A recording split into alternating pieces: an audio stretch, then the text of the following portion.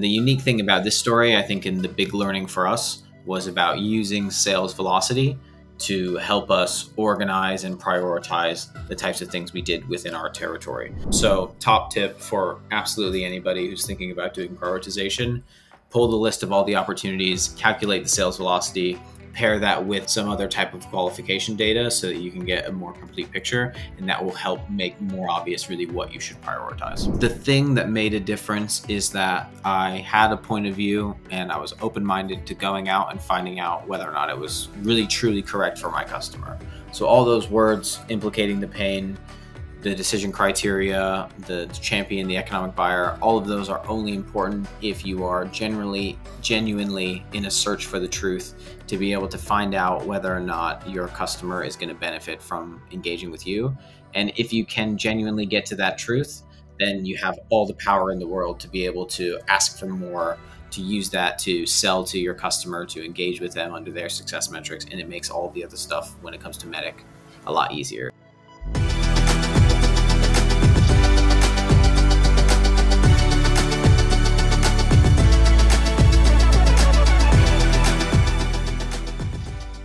Hey everyone, this is Elite Dealers. My name is Pim. This is another episode, and this one has been a, been a long time coming because it is with our very own Jake, who is now a member of our team. Welcome, Jake. Hey, Pim. Thanks for inviting me onto your show. Uh, I didn't know if it was a prerequisite to uh, me staying on the team or not, but happy to be here for an episode of Elite Dealers, whether or not it was secretly mandated or if it's just an awesome story that we get to talk about together. So, yeah, glad to be here. Yeah, to be honest with you, Jake, I think it might be a little bit of both there, but uh, you know, we'll see. Hey, can you do like a very brief introduction for our, for our audience, and then we'll get into it. Yeah, absolutely. Uh, hi, everyone. My name is Jake Jeffries. I've been in enterprise sales about eight years. I've been using MEDDICC for about the last four or five. The last four or five have been massively more successful than my first four or five. I actually started my career in sales working in recruiting when then transitioning into tech sales now here uh, at MEDDICC the company. And I, I, joined specifically because i'm a huge nerd for all things sales.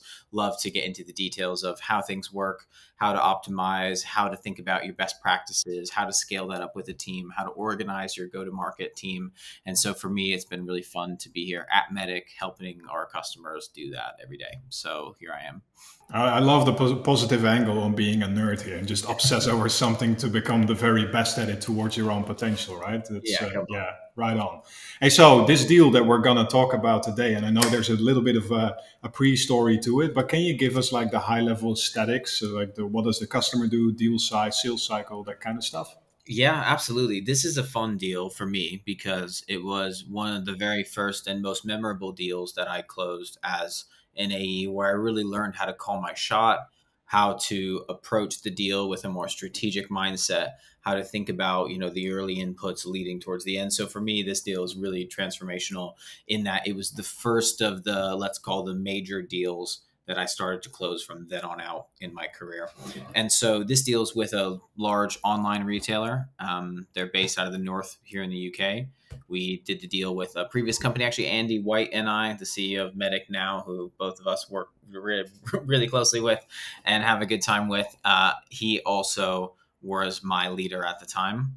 And the unique thing about this story, I think, in the big learning for us was about using sales velocity to help us organize and prioritize the types of things we did within our territory. So for us, uh, this online retailer, which we closed for a total contract value of about a million uh, over a two-year deal, which was a major landmark deal for our customers here in Europe, and was also really significant because it was the first case study that we were able to use to start to produce a whole sector of new customers in this region that help us really define the region and remain the largest customer for quite some time thereafter. So it was really instrumental from that perspective too.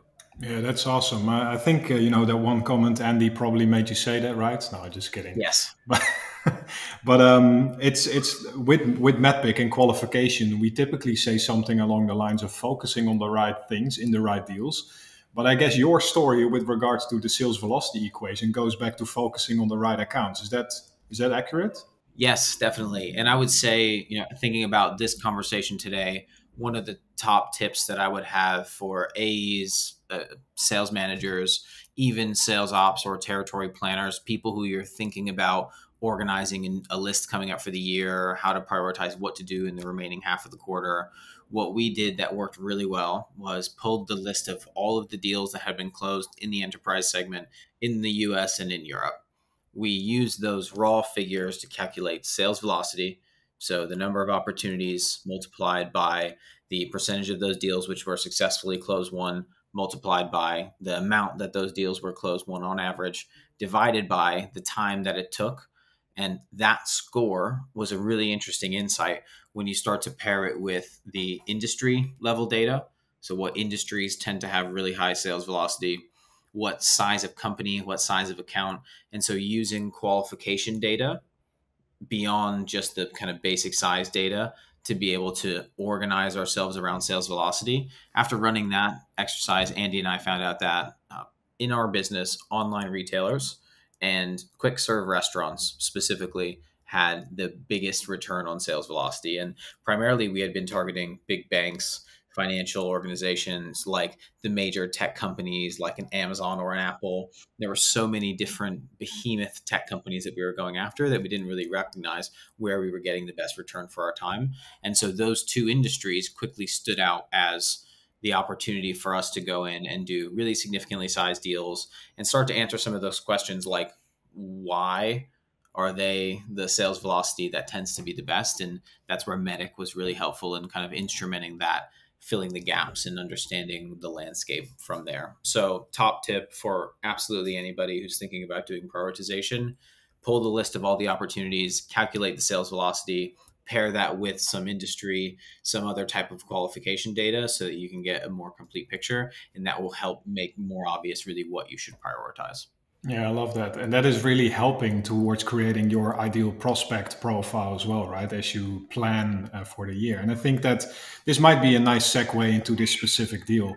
Um, having done that as preparation for your uh, account set at the time and kind of redefining that, what was the increased sales velocity as a result later on? Oh man, uh, well, let's say our average deal size that I was shooting for when I started doing this, when I remember doing sales velocity, it, it couldn't have been more than fifty thousand US dollars. The average deal size of the deals that I was hunting for in my um, new sales velocity equation was in between 150 to 250,000 was kind of our sweet spot. And then we had an additional tier up above that where we were really fighting for the 500,000 to a million. And so we had a whole new system, playbook, and approach going from doing any $50,000 deal that we could do down to categorizing and accurately forecasting against which 100 and 250 and which 500 plus are going to close and when throughout the year. So sales velocity was massively impacted by not only just performing better by doing better, but actually having the confidence to know that these are going to come in around this quarter, these are going to come in around this quarter and because we could see those, you know, process elements ahead of time. Yeah, and I like the sales velocity equation for that, right? It's like planning ahead, focusing on the right accounts, but then also once you have it and you translate it to the MEDDPICC framework, it's like okay if we if we now understand that we need to do a better job at qualifying and building uh, champions for example when we now do it like how much does it impact our sales velocity right? So it's something that you can use in planning but you can also use it retrospectively.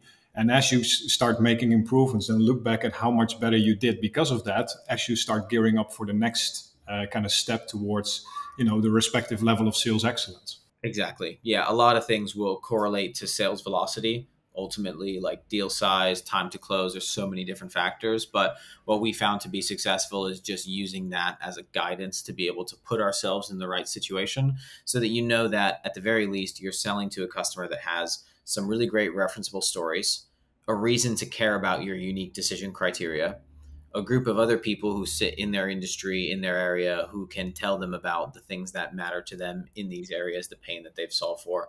And at the very least when you approach them you have a level of confidence around that. So you're automatically going to get higher returns on your time if you're having a same or similar conversation. And and maybe people don't have the luxury to do it in one single industry but maybe you call your shot on two or three and you start to look at building your account strategy around those high velocity engagements and then repeating those results from there. Awesome. Okay, well, let's dive into this specific deal then, because that's right on top of the the kind of categories that you were talking about there, right? With 500k in ARR. Um, how did it come about? So it originally started kind of an interesting engagement. So we, I think looking back, would have done so many things differently. But one of the things that I would not have changed for the world is um, the way that this engagement kind of kicked off initially. So what happened was our SDR, a gentleman named Yusuf, who excellent, has gone on to be excellently successful now, is actually leading the team um, at Branch. And what he did was reach out with a really specific guided screenshot led kind of user experience of something that was breaking from their social media platform to their mobile app. And so it was showing a really huge and unique decision criteria underneath what we could help to solve for that we knew about, which was user experience. And so the response to this message, which was super personal and had like their kind of flow built into it, was why don't you guys just come down to Manchester and show us your stuff? Great. So, so you rock up in Manchester, I suppose. So we roll. So we roll up to Manchester uh, and have the first meeting in person, which was, I suppose, this was er- end of 2019, so it wasn't totally unheard of for us to do at this time. And so we have this first meeting in person in this like old janky building. It's like in a weird like warehouse there it's a family owned business and they are like a kind of historical and so they have a little bit of a historical feel to all of their buildings. This was definitely before it was all updated and before a lot of the growth of the company and so this was like a, a really interesting first meeting. We're like in the back cavern room presenting our screenshots and our stuff and i think what was interesting about that first meeting and in hindsight what we really learned is that we found out that the business case that they were building was different than the one that we had in mind in hindsight, we were focused on user experience, flash features. What they were focused on is the value that the data could bring them, and really uniquely, how they could use that to help to optimize their own conversion rate and the other things which eventually kind of floated up through the organization, which put their web conversion rate like on the front page of their annual. So, if, if you think about that, you only get to understand that through building. Um, building up your your stakeholders right? And getting like a champion so that they work with you. And and by the way shout out to Yusuf for first setting this up right? That's a very cool story. Yeah. Always love if yeah. deals kind of start like that so that's awesome. But so it, it, this initial meeting like and the, the the stakeholders that you were meeting at at the time how would you now put them into stakeholder categories if we look at MEDDPICC as a framework? The the benefit the, the one of the reasons that this went really well is because we met a a qualified champion early on, or we met uh, someone who had the potential to be a champion from the very first meeting. That was the person who responded. This person had power and influence. We later really found that they had a vested interest in our success, and partially because our success was the success of their conversion rate, which was the metric he was wholly responsible for, and also because he was currently running um, four out of the 13 or 14 brands and they were the biggest, but he definitely had a larger ambitions and, and saw this project as a really good way to drive the solution in the right direction and kind of saw the innovation behind it. So this person was vested in our success and they were selling internally on our behalf because they really knew the other directors. They helped us navigate the executive board. This was someone who had the ear of the family to enough of a degree that we was able to get our proposal passed through so the, sorry, the, the heir of the family. That sounds a little bit like a scene from the straight out of the Godfather. yeah, it's not, it's not that cool. I don't think. Um, maybe maybe hopefully they don't hear this and know what I'm talking about. But uh, definitely, I definitely think it was uh, it was the type of person that we were dealing with from the start, who was a qualified champion, and unbeknownst to me at the time, in the very early stages, I would have taken lots of meetings with you know a lot of people. In hindsight making sure that you can double down on doing those well is the most important thing in sales because that deal could have been seen from a lot further out knowing that you know this is where we were dealing. All right jake so that so that makes sense. And so if you think about the personalization that you mentioned this is what typically earns you the right to ask more questions but also builds a potential champion up into an actual champion so that they start coaching you on how to win. And that's a little bit of what I'm I'm sensing here when you say like, hey, the use case that we prepared for was kind of solid, but it was slightly different than what they were actually looking to solve for. Is that is that right? Is it yeah, we, we, we learn more over time. And in those, the important part about the early interactions was we were building them as a champion by being a good partner to work with. We were willing to take the meeting in person. We showed up very prepared we had really thoroughly thought through the user side of their experiences. We didn't necessarily understand to every degree their specific problems um, and actually we learned a lot more that we used later on. But because this was a new customer category for us it was most helpful in the way that we built the champion early on was really showing up super prepared making sure that we were always thinking about how we were adding value at every stage because of that we really bought the opportunity to ask more of those challenging questions. And it started to come later in the process where our champion introduced the fact that the data was the most interesting part of the engagement when we just simply asked. So how do we see the measurement of the value of this partnership? We started to talk about the value cases and they gave us a couple of different answers and different reasons which we then iterated on and started to build into this really simple model of conversion rate and so for us it was just about building them by being good to work with, which is simple advice, but sometimes can get neglected. Sending an agenda in advance, doing your prep work, showing up on time, ending on time, making sure that the things that you say have them in mind and aren't purely to your own gain. And so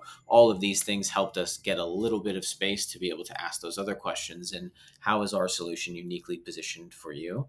And so they started to give us a lot of that feedback.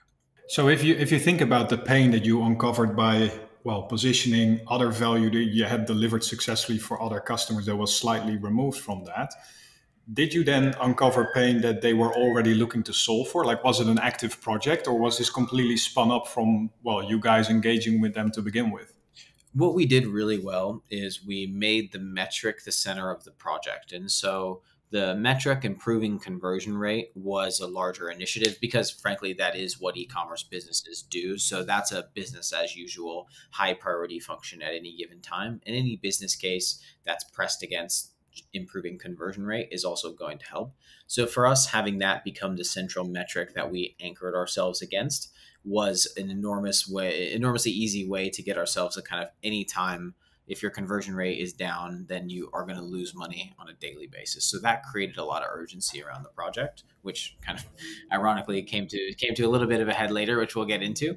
But that um, that change in the um, focus on the the kind of initiative itself made made it that they knew that the data could help them do that. And every use case we built just became a more and more powerful way for us to be one partner that can help them solve a whole host of challenges, all of which will contribute to improving your conversion rate in these measurable ways. So, how did you go about that? Not having uh, a big foothold in this specific uh, segment or industry just yet, and, and having like like you know a, a lot of other brands, but not necessarily something comparable. Well, I think it was them having trust in what we were saying is true. And, and it was a pretty painstaking review process to prove to um, this one individual from the marketing team who did not report directly to our champion, but was in the other department that we needed to bring on board with us. So the group marketing director was kind of a secondary champion. And so this person who reported to them was a huge blocker, would call us at like 8 9 p.m. He would send me these like 40 page, Jake, this is not working. I am pulling the plug, like type of text messages where just like not the person who can can do that even. And so you get into this really challenging scenario where you have to make sure that the technical requirements are covered, but also we don't lose sight of the business opportunities. And because we were working with a real champion, because we had a strong business case around the met, the business impact that we can have.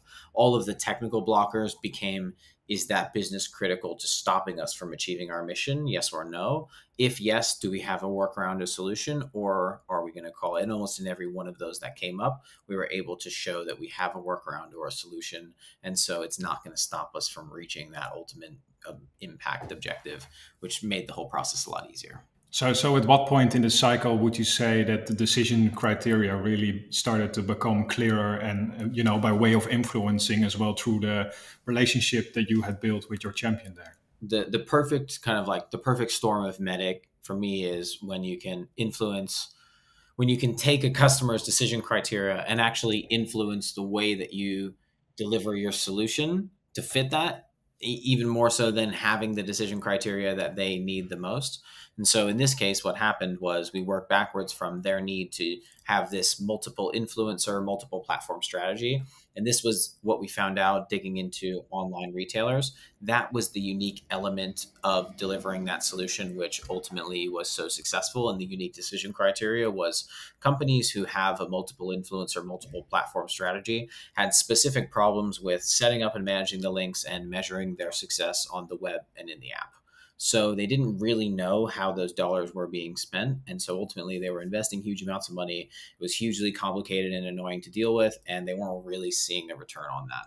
And when it comes to marketing, you want to make sure that you can track everything that you spend. And so for us, we had a solution so that they could link all the people appropriately, collect all the tracking data, optimize their conversion rate and so all of these systems came together in a way that that was the unique decision criteria. Any solution that couldn't bring that influence or strategy to a hold from a linking and a measurement perspective wasn't enough to be considered a solution in this category. And it was necessary because we showed that doing this would drive hundreds of millions of people to the right place to order through the app at a higher value and to the point where they'll receive in the case of i believe our last business case showed that we directly impacted in the range of 100 million to 200 million in total revenue on like a monthly basis. So it turned out to be enormously successful. That that's massive. And so if you talk about getting deeper and wider, that's that's all you know in in that journey there. So your economic buyer and getting access there, how did that work in this deal? That was challenging because I mentioned a few times that it's a family owned business. There was a CEO at the time, but the CEO and the CFO and the family had a policy that they didn't really meet with outside vendors. And so that would have been enormously challenging. We would have um, we, we would have had to either force calling off the deal or have really called a hissy fit in order to get in front of them. So it was one of those scenarios that we had to get a little bit creative. And so what was helpful here is as we got wider in the account, our champion introduced us to his two peers, the group finance director and the group marketing director. So we had finance, marketing, and e commerce, the three main departments who interact with our solution, and then the finance team to be able to support the kind of ROI and the other backing of it. And so those came together to really help us put together a business case, which was based on the impact that we could have. They're coaching us very deeply to win on what the family are going to care about, the metrics that they're going to want to see. We ran a small test pilot to make sure that it worked, and we showed that in that couple of weeks there was definitely an opportunity. We showed that it was lightweight in terms of implementation, so they gave us everything that we needed to put together an amazing overview business case. Uh, and I think our feedback. so first, a funny story. When I went to go present that in that meeting, actually to the group finance director and the e-commerce director, um, maybe like six, seven months no, it's five months in the UK at this point. Running across the road because my train was late. Look the other way because cars drive on the right side of the road, and uh, it wasn't. It was coming from the other direction, and I got smashed by. Luckily, it was a bicycle, so I like knocked my like headphones off my head. They still have the scratch on them. It's still like a big scratch on the side. I showed up to the meeting like minor. I must have been minorly concussed uh, later, actually, one of the engineers on the project was like, "Oh yeah, Andrew said he saw you that day, and you're acting kind of weird." Battle scars, Jake. No, no one ever mentioned it. I didn't really think about it uh, until later, and yeah, I realized that like that was actually quite a monumental moment in that deal when I was potentially going to go off the rails, concussed. But it worked out; they didn't turn us down. So yeah, no, absolutely. So, hey, you, you shared a lot about uh, stakeholders, and what I like is that you're constantly speaking from a perspective of like we did this and we did that, because like bringing a deal like this home is really a team sport, right? So, on your side of this um, engagement, like what did it look like from a stakeholder's perspective in terms like multi-threading, et cetera, to make all of this work?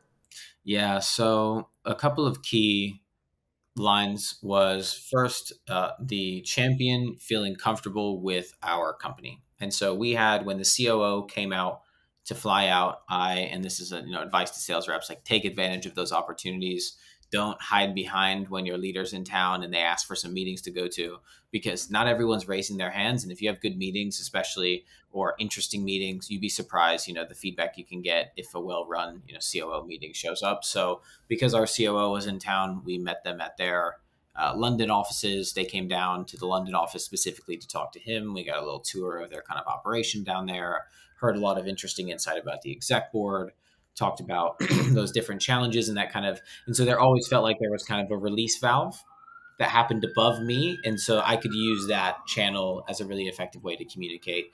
The other thing that was really important was making sure that our solutions engineer had a really clear line to the technical team.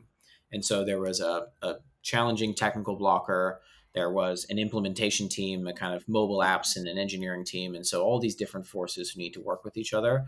This solutions engineer, who's um, amazing, his name is Oleg. I believe he also runs the team uh, at Branch now still. He built a solution to their specific decision criteria.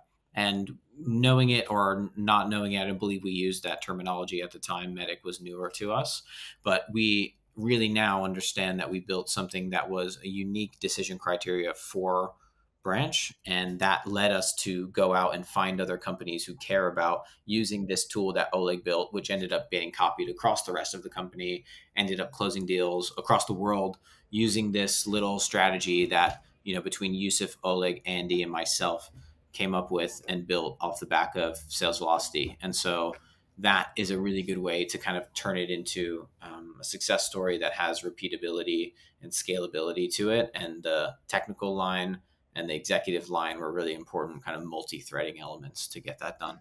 Yeah, awesome. Love that story with with Oleg as well. And would you say that in this deal he had like a secondary champion, um, you know, next to like your main champion? Because this this typically comes up in this episode with where the best deals sometimes have a, a bit, a bit of a dramatic turn and it's like oh are we actually are we out? Are we done with each other? Or are we still you know um, uh, progressing? Yeah. And, and so having an se that is that is going out there building that same sort of relationship on a technical level will build redundancy into you know into your engagement. Was that going on with with oleg and the technical yeah. yeah? Absolutely. I mean what what that did was it made it very clear that if the team were going to choose to do anything they were going to choose not to work with us and to do something completely different. They weren't going to try to build what we had and they weren't going to work with another vendor because the technical criteria of what our solution offered was unique and it specifically solved that and so having the technical person someone like oleg to be able to manage that aspect of the conversation that was really successful because it gave them everything that they need to feel comfortable in recommending us as a solution. And it made our job on the sales side a lot easier because we could point to that and say okay well the business impact is rel is is only dependent on achieving these same technical criteria that we already deemed are necessary. And so these two things are connected. We can't separate them as much as it's nice to when you want to when they want to do that at the end during the negotiation part. And so for us, it helped us stick to the value of the deal. Uh, we this deal happened, as I said, end of March, uh, end of 2019, uh, early 2020. So we got the call that a lot of reps did around March 14th, which was COVID is shutting down our business. We don't know what we're going to do. Our deal is definitely off. Our close date was March 31st. That was the end of Q1 for me. And so that end of Q1 deal is not even on the table. We don't know what's going to happen. You, you got that actual message in this in this very sales cycle. Yeah, yeah. So in this sales cycle in March uh, of 2020, this deal was supposed to close on March 31st. We had done all that stuff, done the approval. The EB meeting was already scheduled, but they had given like a kind of pre thumbs up. Contracts were ready, reviewed, red line. Like we had done literally everything. And the last minute curveball was, you know, the the the world shutting down momentarily.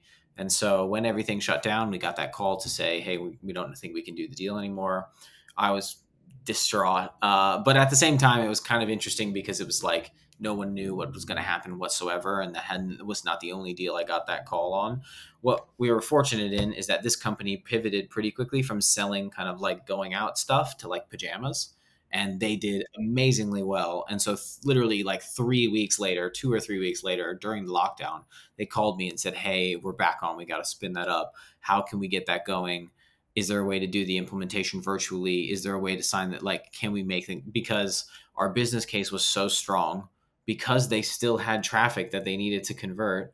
We ultimately found a way to implicate the pain in such a way that even a scary market opportunity, which was a headwind for a lot of companies, for them kind of became a tailwind and pushed them up and into the sales. And so that was a really really scary part of the deal that ultimately wasn't that big of a deal because in hindsight it worked out pretty well uh, and it turned out to be that landmark deal that i talked about early on and was really instrumental in me going out to close maybe in the next six months two or three more customers like it in that almost exact same deal cycle much faster much more simple uh, using the tools that we had already built and so that kind of became my sign off um, as I left that organization, and that really was like the the um, the opportunity that we had pursued. So it, it became a became quite a nice case study of how we could go out and kind of call our shot, influence the decision criteria, use that to connect with the champion, get engagement with the economic buyer, and close like a significant deal over and over again.